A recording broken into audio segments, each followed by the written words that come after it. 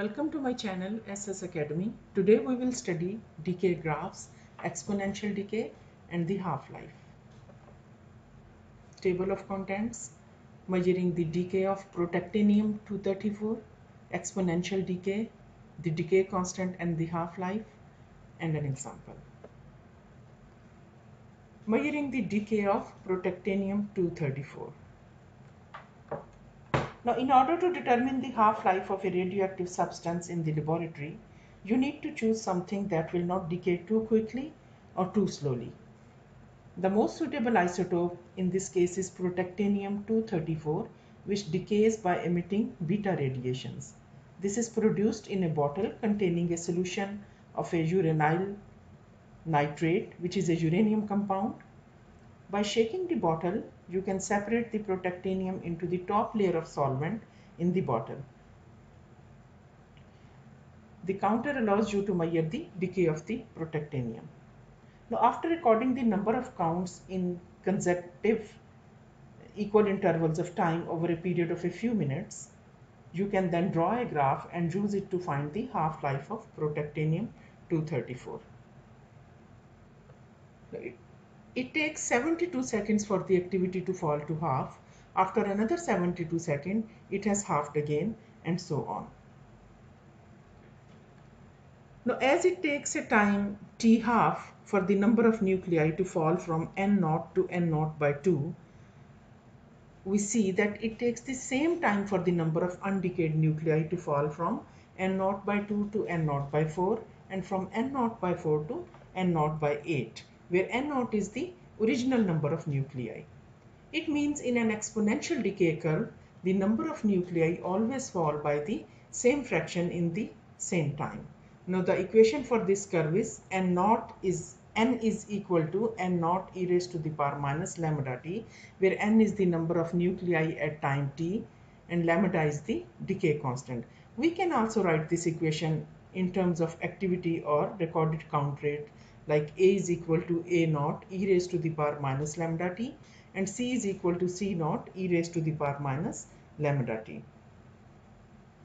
As A is activity and it is proportional to the number of nuclei present like A is equal to lambda n as we have studied in the previous les lesson and the recorded count rate is proportional to the activity. The decay constant and the half-life.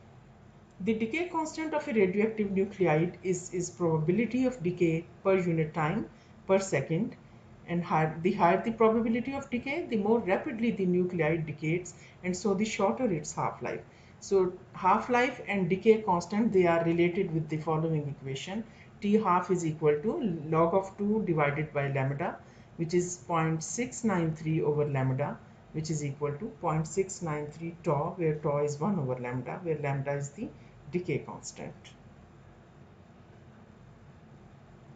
Now care must be taken with the units. If lambda is in per second, t and t half must be in seconds. The exponential equation no longer applies when only a few nuclei remain because of the random nature of the decay. Now we will derive a link between lambda and t half. We will rearrange this equation n is equal to n naught e raised to the power minus lambda t which will give n naught over n equal to e raised to the power lambda t. And as t is t half, n will be equal to n naught by 2. So we will substitute this value of t and n. We get n naught over n naught by 2 is equal to e raised to the power lambda t half. n naught and n naught will be cancelled out. So we are left with 2 is equal to e raised to the power lambda t half or taking log to base e on both sides, log of 2 is equal to lambda t half or t half is equal to log of 2 over lambda or 0.693 over lambda. So this is the relationship between half-life and the decay constant. Example. Now a radionuclide has a half-life of 55 seconds. Initially a sample of the nuclide contains 5000 nuclei we have to find out A, what is the decay constant for this nuclei, B, how many nuclei remain undecayed after 200 seconds? So first we will use the same equation we have derived in the last page. T half is equal to 0.693 over lambda. So substituting the value of t half, we get lambda equal to 0.693 over 55 which is 1.26 into 10 raised to the power minus 2 per second. And how many nuclei remain undecayed after 200 seconds? Again, we use the equation n is equal to n naught e raised to the power minus lambda t as n naught is the original number of nuclei which is 5000 t lambda we have just now calculated 1.26 into 10 raised to the power minus 2 t means t 200 seconds as we have to find out number of nuclei that will remain undecayed after 200 seconds. So n comes out to be 400 nuclei. Thank you for watching